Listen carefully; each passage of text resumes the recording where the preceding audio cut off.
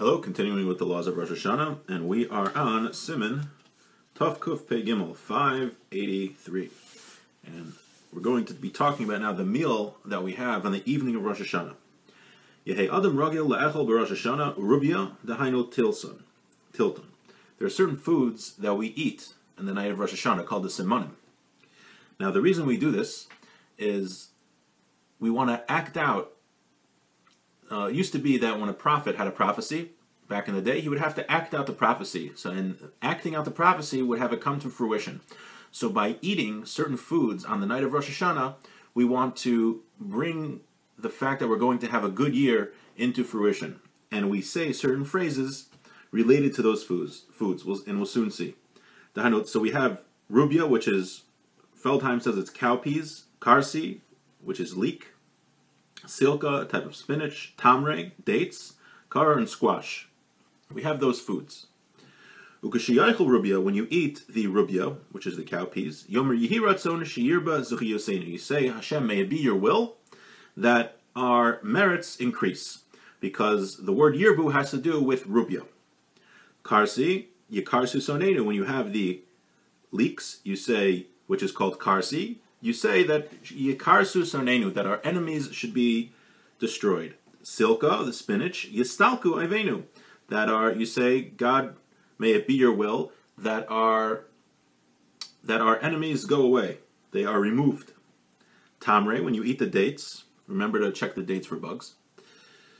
Yitamu senenu, you say, may our those who hate us perish. Kara, when you eat the squash, you say, Yikara gazar dinenu v'yikara lefanecha zechu yosenu.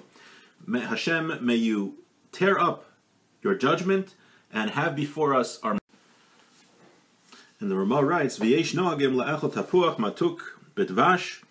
We have a custom to have an apple dipped in honey, v'omrim, and we say, Tischadesh aleinu shana masuko, that we should have a sweet year. V'chein noagim, and that's the custom.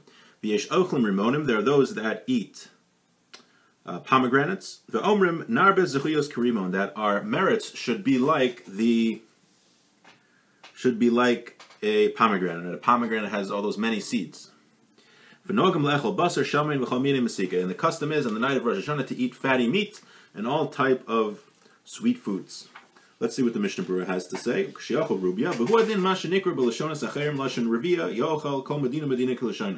There's all these things that are said in the Shulchan Aruch that you eat what's called rubia. So we say sheyar yosenu because in Hebrew it has the same word that our merits should increase. That is doesn't have to be that. Whatever you have in uh, have in your language, you could do. I remember in my yeshiva in Mevaseret, people came up with very creative uh, creative things. You know, uh, they took ketchup and said yehi ratzon that we should catch up with our learning. So whatever it is, you can make your own yehi ratzons. Yehi Ratzon, we say Yehi Ratzon Lifanecha Hashem Elokeinu V'Elokei Avasenu Sheyar B'Zechu Yisenu because of Eliyarabba B'Shem Shlah. Now, again, the exact uh, the exact thing to say is in the Machzer, so you don't have to worry about it, and you just do what the Machzer says. And uh, the Shlah writes, Yisor AdamEtshuva Kashomer Yehi Ratzon V'Yispal Zebelev Shalom. He says, when we're saying these phrases, you know, it just shouldn't be like a cute thing that we're you know, saying these ratzons and eating these foods, but we should have in mind that we're repenting, that we should have more zechuyos, and we try to be better people, and we should inspire ourselves and have a real hisorus to do repentance, to do tshuva. Tapuach matok bidvash, we dip an apple in the honey. But tapuach ikar. Oh, so when you make a bracha, when you have two foods, when you make a bracha, you only make a bracha on the ikar, on the main food. So here you have apple and honey, so the main food here is the apple. So you make a ha'etz, on the apple. Poter hadvash. Even though you already washed, you still need to make a ha'etz on it. Some people have the custom to dip the challah in honey. So we said when you dip the apple in the honey, you say that we should have a new, a, a good new year, a sweet new year. Very important.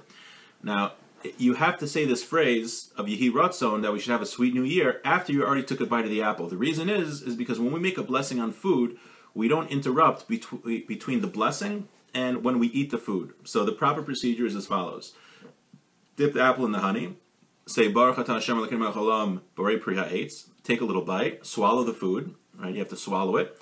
And then you say Yehi Ratzon that we should have a sweet new year, and then take another bite of the apple. But do not say the Yehi Ratzon right after the blessing, because then it is an interruption between the bracha and the eating. Shana Masuka, we should have a sweet new year. People don't eat uh, borscht, which I guess has vinegar in it. People don't eat vinegar on Rosh Hashanah. That's why people don't have uh, the horseradish. Ukadome v'alken ha'ochlim dagim l'simna shifra v'yirba ein mevashin oso b'chometz. Those that have fish as one of the simanim do not cook the fish in vinegar. V'hine kol elan yanim osin hakol l'simen tov. We do all of this as a good sign. L'chein pshita sheyizar me'od shelo yichos b'yamim elu. Says it's very important that during these days of the 10 days of repentance, Rosh Hashanah Yom Kippur, not to get angry. Milvad Godol Ha'isr, besides of the great prohibition of getting angry, Kadeshia Simon Tov, that it should be a good simon.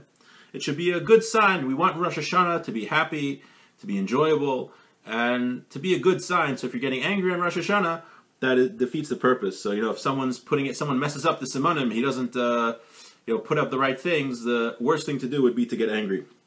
Rather, someone should be happy, and he should trust in Hashem with his repentance and good deeds. God willing, we will continue. Have a beautiful day.